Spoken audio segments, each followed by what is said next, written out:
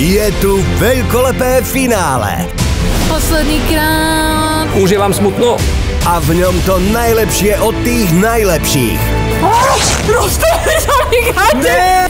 Liu Bielovič, Si veľmi talentovaná. Aj si taká brutálna šupa opticky. Adam Pavlovčín, Si pre nás, pre celú spoločnosť obrovským prínosom a si nám všetkým vzorom. Karol Tóth, Opäť číslo hodné v finále. Veľkolepé, mrazivé. Ďakujeme. Vicky Ráková. Vicky, oh my god. Som veľmi prekvapený, že toto je v tebe. Sledujte, kto získa titul šampióna. Vďaka vám sme my všetci mohli sledovať úžasné vystúpenia. A zažite večer nabitý fantastickou zábavou. Ty si vlastne zlatý klinec. V finále Tvoja tvár znie povedome. Už teraz na Vojo a v nedeľu o 20.30 na Markíze.